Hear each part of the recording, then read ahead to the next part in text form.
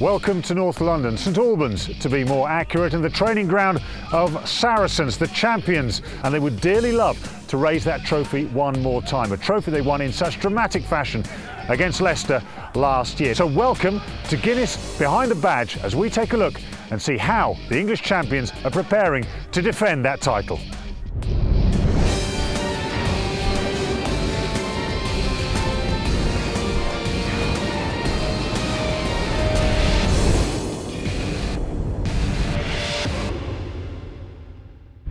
Final round of matches in what has been a thrilling Aviva Premiership season have finally arrived and there's plenty to play for and no shortage of drama. At the top end of the table, it's all about home semi-final play-off places.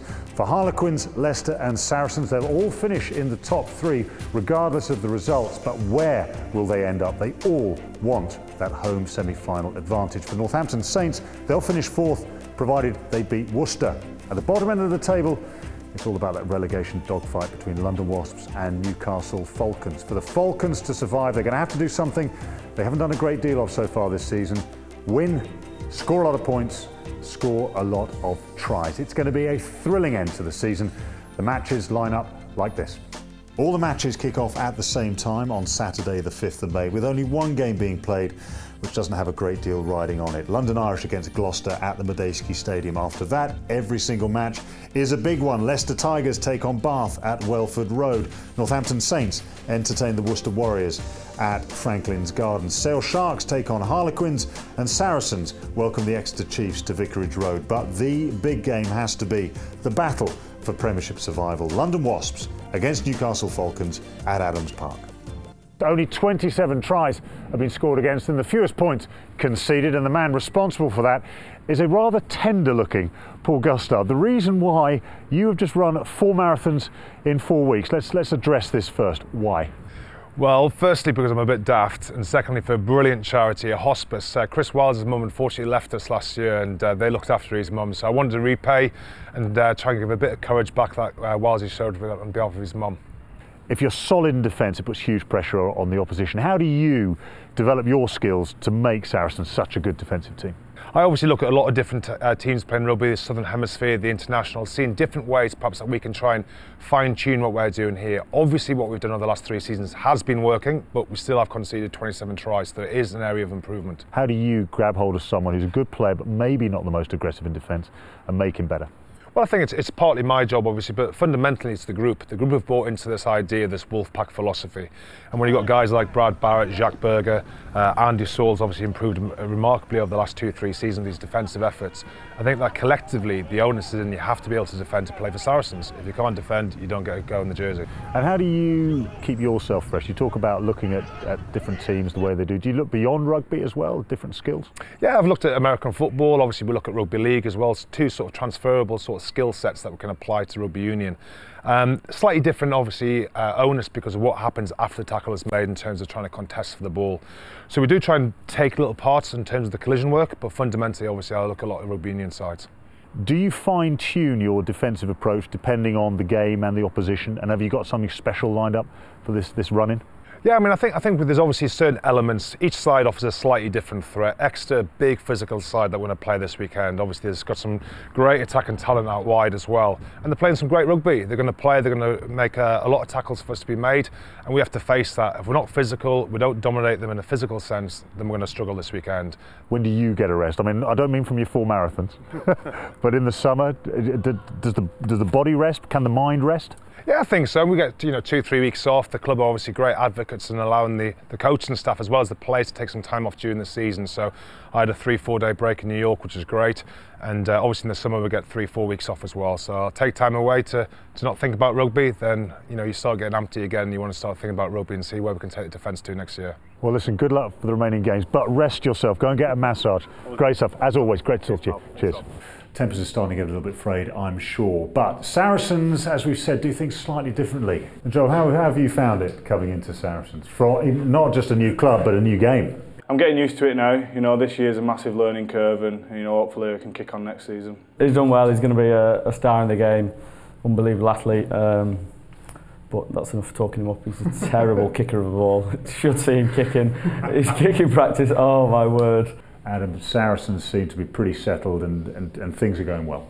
Yeah, it's uh, the things that have been put in place since Brendan and Edward Griffiths come in uh, have been amazing. You like highlighted the, the holidays, but there's a or these honestly, honestly, they're not holidays. Yeah. They're not holidays. Them, but it's stuff off the field. Like boys are encouraged to, to do uni and to do work experience, and the families are involved a lot, and it's uh, just everything that makes you want to be involved. And it's a, it's a new angle coming coming at it from, and um, it's working wonders for us at the moment. And everyone everyone enjoys being there.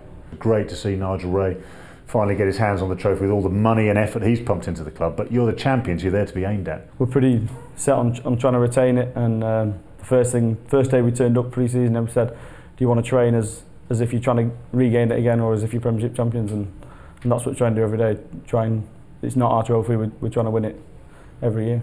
Who are the players where you think I'm glad I'm looking forward to the end of the season, so I'll get a break from him for three or four weeks?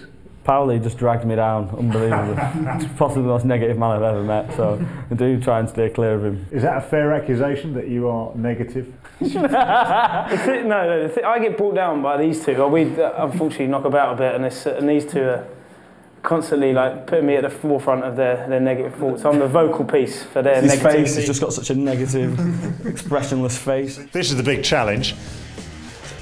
Three plastic pint glasses full of biscuits. Grab those, balance it on your forehead. You've got to get it in your mouth without using your hands. You've got a minute to get as many as you can. The record is four, proudly held by London Irish at the moment. So you ready? Go. Here we go. That, the sound of a biscuit hitting the desk. Yours is just stuck. There, one. We have one. There we go. One each. Two, one, one. One. Joel, you just lagging. but you are eating them. Six. You're absolutely blitzing this. Stop. Wow. You only got one, but you've eaten yours. Oh, you've eaten two. You got two. No, I just put one in. You just put one in. Hilly, great to see you. Saracens, your home, synonymous with you as a rugby player. But what are you doing now for the club? I do have a couple of roles. Uh, one is around the rugby side, the playing side, which is mentoring and academy coaching. Um, I do have another one, which is more match day and events. You've got huge rugby experience. England Lions World Cup winner, of course. Do you intimidate the players, or are you pretty approachable? They, they think that you're approachable. That's probably a question for them. Look, you, you, you, try not to, you don't want to be. Um, I, am sure there is an element certainly to start with. Um, and some get more comfortable and some take a little bit longer to, to appreciate that you know, you're not trying to be there as a busybody for them, you're trying to be there to help them.